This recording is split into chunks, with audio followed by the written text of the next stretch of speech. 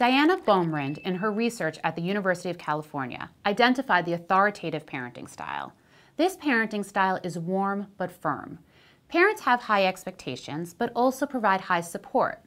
This authoritative parenting style is widely acknowledged to result in children who are confident, flexible, resilient, and happy.